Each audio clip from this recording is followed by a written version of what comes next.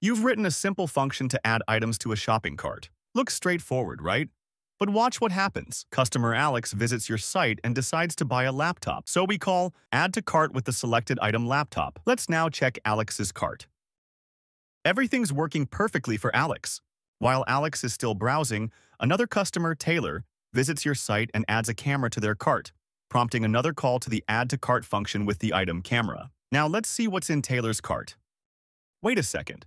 Why does Taylor's cart already have Alex's laptop? This is a serious issue.